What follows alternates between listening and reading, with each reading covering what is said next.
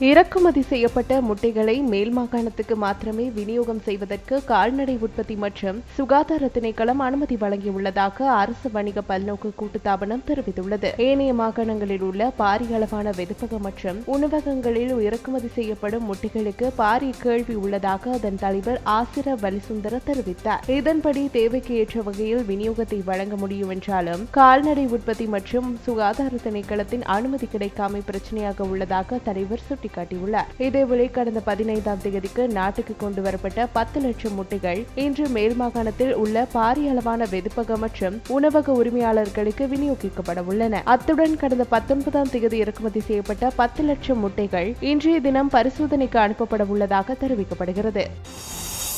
ஜனவரி இரண்டாயிரத்தி இருபத்தி ரெண்டு மற்றும் ஜனவரி இரண்டாயிரத்தி இருபத்தி மூன்றுக்கு இடையில் சுமார் எழுநூறு செவிலியர்கள் நாட்டை விட்டு வெளியேறியுள்ளனர் இவர்களில் ஐநூற்று ஐம்பது செவிலியர்கள் சுகாதார அமைச்சின் அங்கீகாரத்துடன் விடுமுறை எடுத்து ஐந்து வருட காலத்திற்கு மேலதிக கல்விக்காக வெளிநாடு சென்றுள்ளனர். சுமார் நூற்றி ஐம்பது செவிலியர்கள் எவ்வித அறிவித்தலுமின்றி வெளிநாடு சென்றுள்ளனர். இதற்கமைய தாதியர் சேவையில் தற்போது சுமார் இரண்டாயிரத்து நானூறு வெற்றிடங்கள் காணப்படுவதாகவும் இந்த வெற்றிடங்களுக்கு ஆட்சேர்ப்பு நடவடிக்கைகள் மேற்கொள்ளப்பட்டு வருவதாகவும் சுகாதார அமைச்சர் பணிப்பாளர் சாமிக்கு கமகே தெரிவித்துள்ளார்.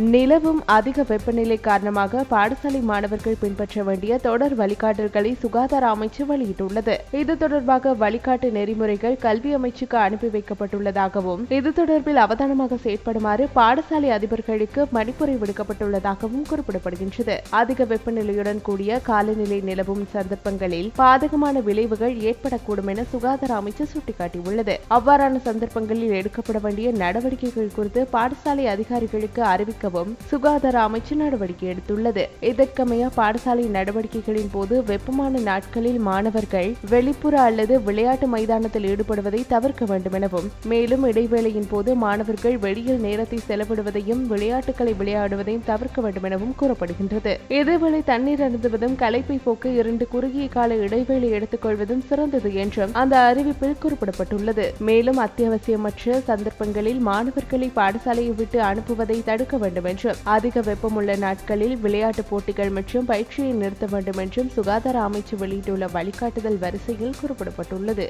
உடனுக்குடன் செய்திகளை பெற்றுக்கொள்ள யூ டிவியின் யூடியூப் தளத்தை சப்ஸ்கிரைப் செய்து கொள்வதுடன் பெல் ஐக்கானை அழுத்தவும்.